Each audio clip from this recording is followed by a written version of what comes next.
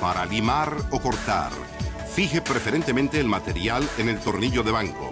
Para evitar marcas indeseables de las prensas en el material, puede colocar un pedazo de madera o material similar entre la pieza y las prensas del tornillo de banco.